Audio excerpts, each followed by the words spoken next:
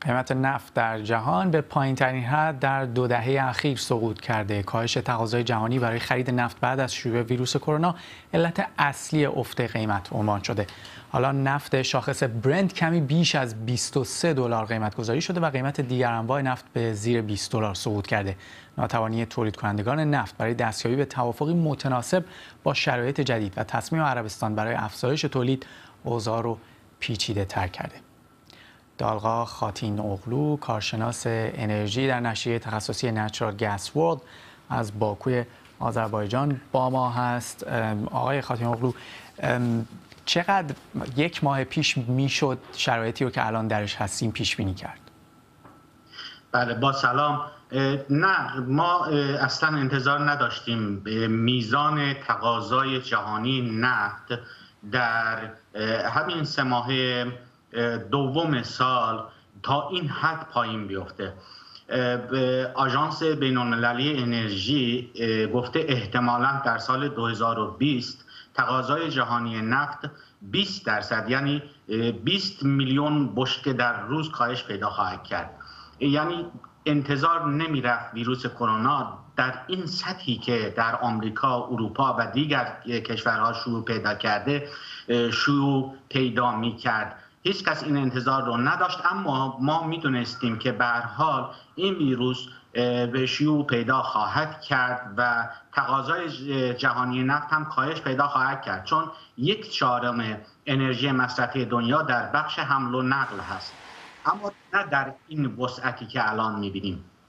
اما همزمان احتمالا تولید هم کاهش پیدا خواهد کرد چون بسیار شنیدیم که بعضی از کشورها تولید نفت درشون از این مبالغی که الان داریم از قیمت نفت می‌بینیم بیشتر در میاد هزینش بله دقیقا اینجوری هست. شرکت مشاوره انرژی بود مکنزی در آخرین تحلیلی که همین هفته گذشته منتشر کرد میگه با قیمت های هلوهوش 35 دلار 5 درصد از نفت تولیدی جهان زیانده هست.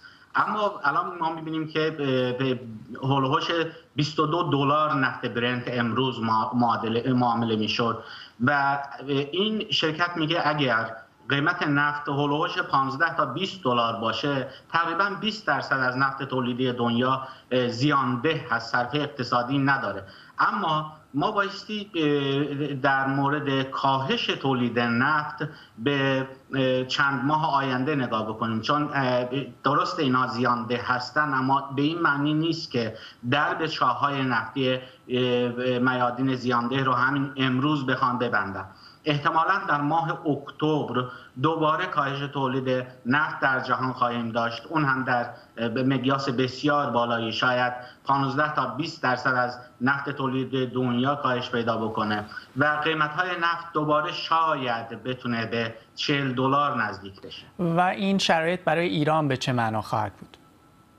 ایران یک کار بسیار عجیبی کرده در حالی که ما آمارهای بین المللی رو داریم. مثلا آمارهای شرکت کپلر که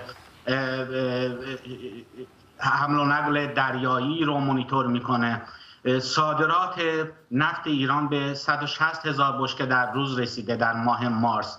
این در حالیه که ایران در بودجه صادرات روزانه یک میلیون بشکه نفت رو اون هم با قیمت 50 دلار محاسبه کرده و گنجونده. حالا بایستی منتظر بمونیم که ببینیم آینده چی, چی رو رقم خواهد زد؟ اما آنچه که مسلمه ایران با کسری شدید بودجه مواجه خواهد شد. هم تولید نفتش کاهش پیدا کرده هم قیمت نفت ایران همیشه 3 4 درصدی کمتر از نفت برنته الان قیمت نفت ایران هلوش 20 دلاره.